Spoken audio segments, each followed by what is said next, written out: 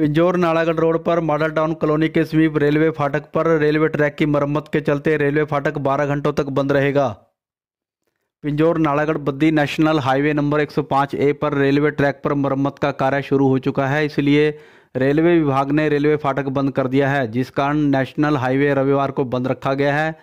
रात आठ बजे तक रेलवे फाटक खोलने का निर्णय विभाग द्वारा लिया गया है। इस संबंध में हरियाणा ट्रैफ़िक पुलिस की ओर से भी एडवाइजरी जारी की गई है।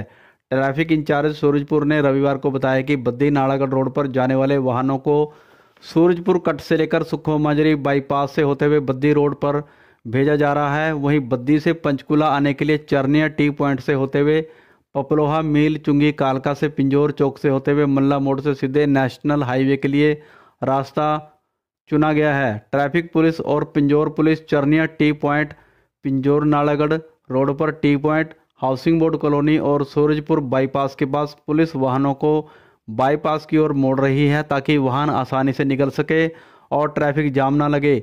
रेलवे ट्रैक मॉडल टाउन के समीप रेलवे विभाग ने जेसीबी मशीन से ट्रैक पर काम शुरू किया, जिसमें मजदूरों की मदद से रेलवे फाटक पर रात तक काम जारी रहेगा, जिस कारण रविवार के दिन नेशनल हाईवे 12 घंटों तक बंद रहेगा।